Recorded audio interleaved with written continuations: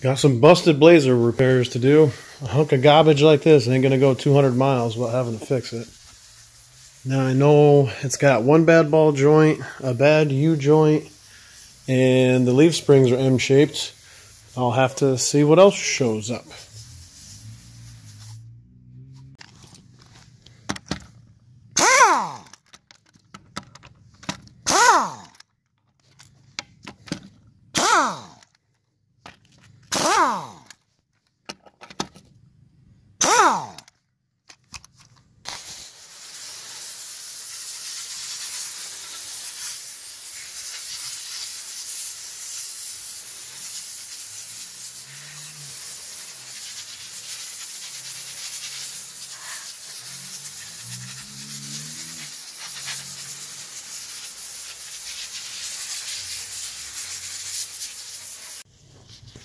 This bumper got all busted up. Probably help coming off the trailer. What if we can just rip it off? Oh, she on there good.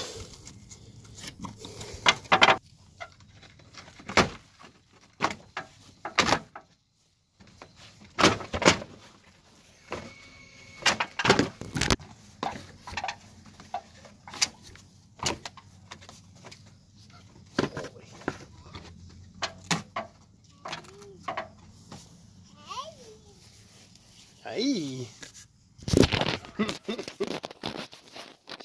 oh.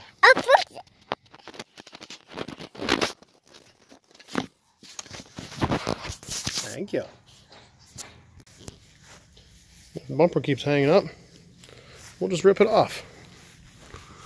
A little better approach angle that way.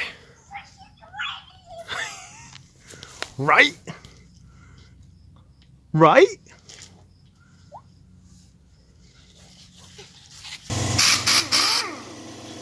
Eighty on the DA for the D-chrome process. Bedline that stuff too. I've spent eight years on and off worrying about getting this Camaro perfect. It is so nice to not care about perfection.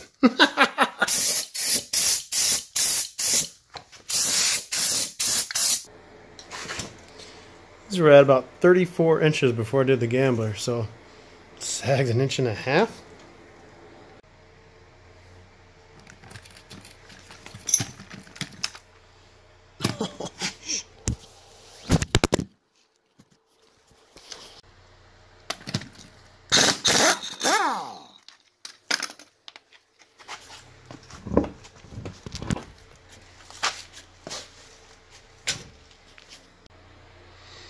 Okay, so this thing didn't fit worth balls in the front or the back. But, a little bit of work with the angle grinder. And now we'll be good. We don't need bump stops. Now it's mint. Okay, now it's mint. Now if I'm remembering my leaf spring geometry correctly, um, I mean it's been a little while since Camaro ran, like nine years.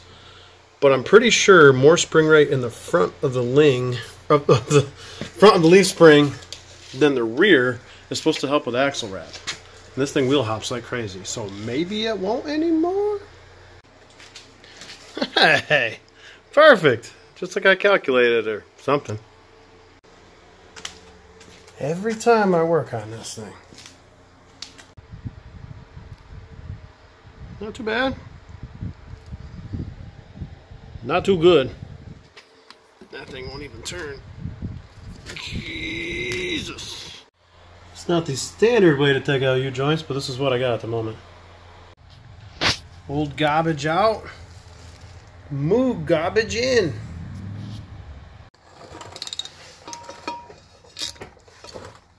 Click. Click. What do we have here? 25 bucks, not 30. Hell yeah. What do you think, Wave? Is that a good deal? What a deal, Papa.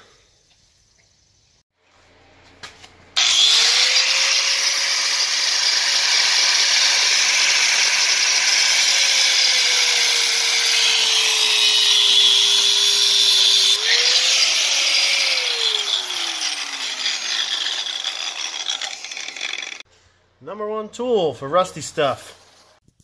Ball joints all in. That went pretty easy. Uh, that part we're going to ignore. But uh, I'm, I'm impressed this one didn't kill us all. That could have been the end of uh, me, Lauren, and Bob. well, this idea worked until it didn't. Uh, but I might be able to make it work with a smaller exhaust bolt focus. Uh, this was a two inch, if I go like one and three quarter. So it was a little bit too wide for the hole spacing here. So I just put it in the, uh, put it in the vise, clamped it down a little bit until it came through, but it was just pinching harder and harder and harder and snapped them right off. But a one and three quarter might work for that. That way I don't have to mess around with welding anything. That'll just be my studs for the skid plate.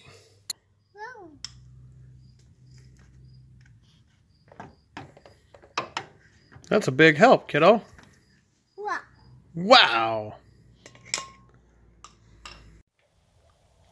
Since the skid plate, the carbon fibre one, is screwed up in a few places. There, there. I'm gonna use the stock uh, plastic one, sandwich it underneath the carbon fibre one. That way it should be in good shape. I thought about taking this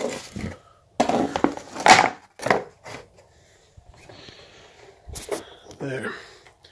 I thought about taking this uh, other one here. I'd have to cut it here a little bit, cut it here a little bit, and that would fill the gap between the stock skid plate and the bottom part of the bumper I ripped off. Kind of stick it right in here. That still wouldn't be a horrible idea, but uh, I think sandwiching, doubling up the other skid plate, it's going to be a better idea than uh, sticking one up there that may not even need. That pretty mint, actually. Doubled up skid plates. Should be super strong for the next time I drop it on a jack. Let's hope not. Oh, and I put a 5 16 J-nut in here rather than that stupid quarter turn deal. That'll help get some strength back to this. And this part, this sort of hits on the uh, the other skid plate in here. I cut access. Kind of see both of them there. But when you stick it in, it tightens everything up real nice. So I'm sure it actually makes it stronger once that goes in. Oh, hell yeah. Way more solid than it was. That's going to work mint. Had an old piece of MDF laying around.